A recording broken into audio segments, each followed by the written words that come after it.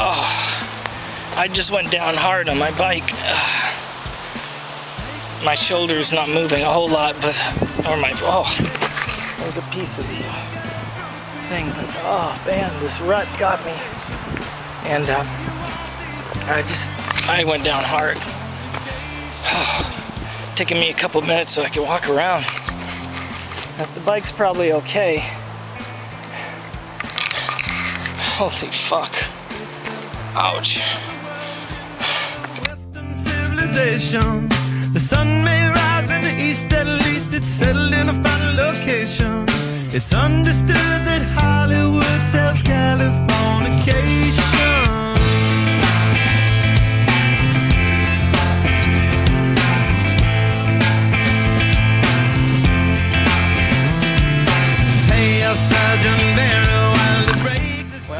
thought I'd give an update.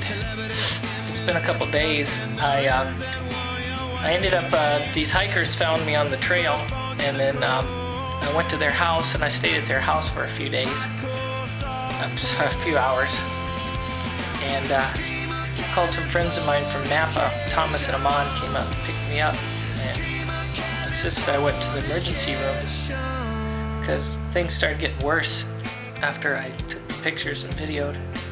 I'm still having a lot of trouble breathing, but um, um, I got three broken ribs, and uh, one of the bones that connects the scapula is cracked, and it collapsed one lung. So it was getting harder and harder to breathe. But um, I ended up getting home. I'm home now, but I still got this tube in me. Let's see, I gotta carry this damn thing around, and I can't lift that one arm. But things that you don't think about, like how do you sleep on this side? And if your pain medication runs out in the middle of the night, man, it starts hurting. Uh, so I had to reverse like the where I sleep on the bed, and it's hard. You can't pull covers over. I'm just trying to document this crazy stuff.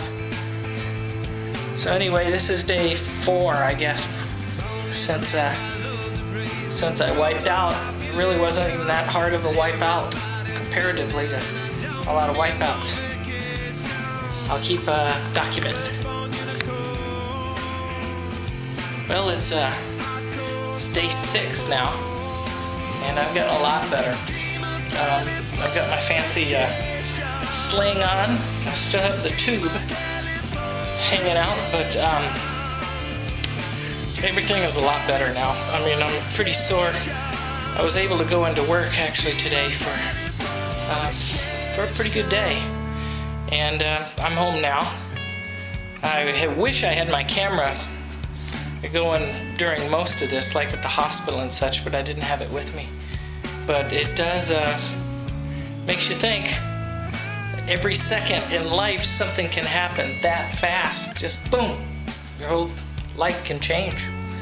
But uh, it's like that every day of your life, so you can't get too hung up on that. So anyway, it's a nice day in California. See the sunset coming in through the window there.